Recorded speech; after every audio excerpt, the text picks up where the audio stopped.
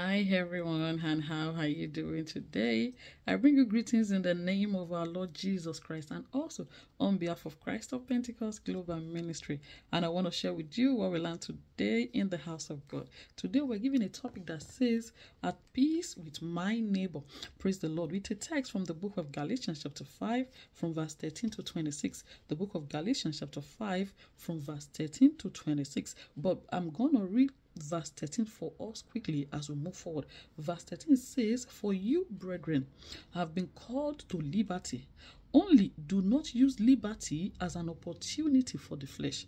True, but true love serve one another. Praise the Lord. And what is the word of the Lord for you and I, brothers and sisters? We were told that truly we have been given that liberty, but rather, brothers and sisters, do not be distracted as to use this liberty as an opportunity to satisfy the flesh. And when we read further ahead, we were told that the works of the flesh are hatred, are contentions, outbursts of wrath, emulations. What is the word of the Lord, brothers and sisters?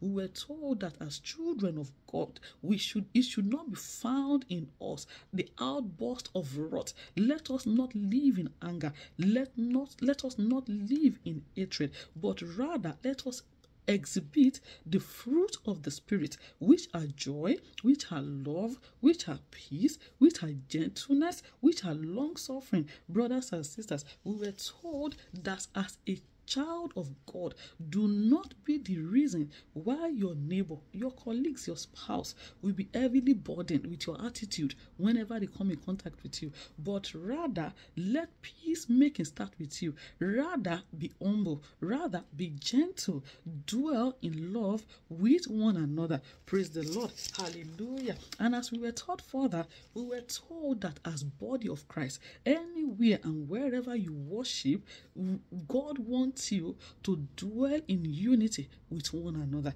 The word of the Lord says in Deuteronomy 32, verse 20, it says, One shall chase a thousand, and two shall chase 10,000. But, brothers and sisters, it doesn't end there. You two can only chase 10,000 when the two of you dwell in oneness. Praise the Lord. I pray that the grace that we need in the body of Christ, in the church of God, for us to continually dwell in love, to dwell in unity, so as to stand strong, so, so that to be victorious. May the Lord release upon us in the mighty name of Jesus Christ. Amen. We were also told that as children of God, we must dwell in harmony with our neighbors so that we may be able to receive every blessings that the Lord has for us. If you look at Psalm 133, verse 1 and verse 3, the Bible says, I'm going to read for us quickly.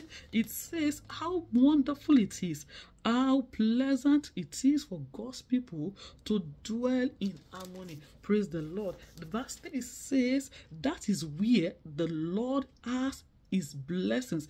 Praise the Lord. He says This is where the Lord has promised his blessings. Praise God. That is when you and I, when we dwell in unity with our neighbors, when we dwell in unity, in love with those around us, then we will receive every blessings that the Lord has in store for us. It says this is a life that never ends, blessings that never ends. If you truly desire the blessings of the Lord, it is time for you to dwell in love with one another. I pray that the grace that you and I need, may we receive it today in the mighty name of Jesus Christ.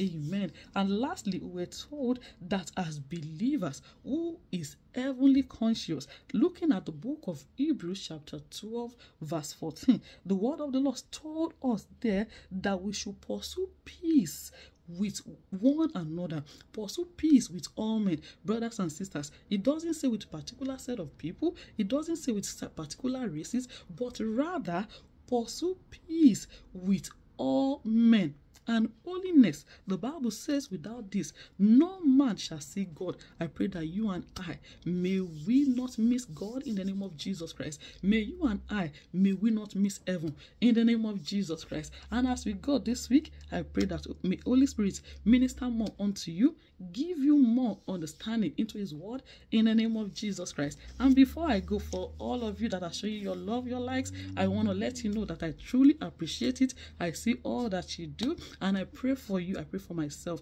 that may the hand of the Lord rest upon you in the name of Jesus Christ. May He make His face to shine upon you. And I pray that as you are showing love in the name of Jesus Christ, may you find favor with God and favor with men in the name of Jesus Christ. And also for me too, in the name of Jesus. I'll see you another time in Jesus' name. Amen.